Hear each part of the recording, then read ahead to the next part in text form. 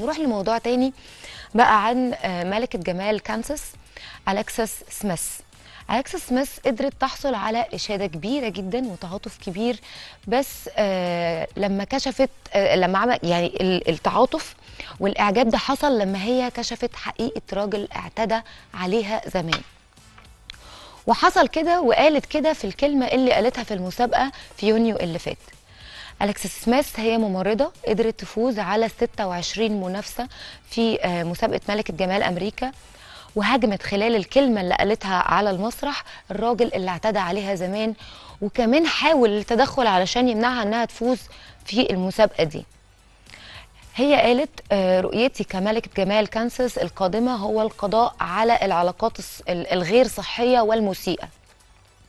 في واقع الأمر آه، رأي آه، بعضكم من بين أو رأى بعضكم من بين الحضور إنني كنت عاطفية للغاية لأن المعتدي عليا كان هنا اليوم.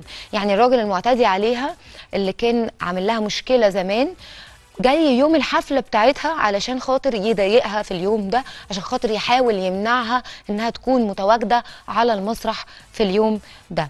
فطبعا آه، حاجة أكيد مربكة آه، نفسيا وعاطفيا جدا جدا لكن هي قررت إنها هتكمل وهتثبت له إن هي قوية وإن هي تقدر وإن هي شجاعة. ومش بس كده هي كملت وكمان شاورت عليه في المسرح. يعني قالت على اللي عملوا معاها على المسرح ما عدتش الموقف كده وخلاص. وقالت إن هي تعرضت للعنف المنزلي وإنها كانت على علاقة سيئة استمرت لحد 2019 وما زالت بتعاني من أثارها لحد دلوقتي. بعد مرور آه، آه، خمس سنين اكتشفت إن الراجل اللي كانت على علاقة بيه وكان بيعنفها وصل لكلية برات المجتمعية علشان يشوف نهاية أو نهائيات آه، المسابقة. وقالت زي ما قلت لكم كده إن هو جه علشان يمنعها أو علشان يوترها علشان يحسسها إن هي ضعيفة ولكن هي صمدت قدامه.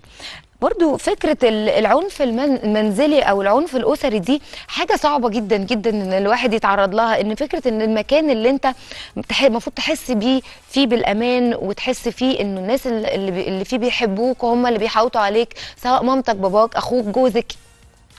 آه، وساعات على فكرة بيبقى الابن مع آه، للأسف لما لما الأهل بيكبروا شوية بيسيب اثر نفسي صعب جدا جدا. العنف لما بيجي من الناس دي الناس القريبة دي بيسيب اثر رهيب وما بيتنسيش.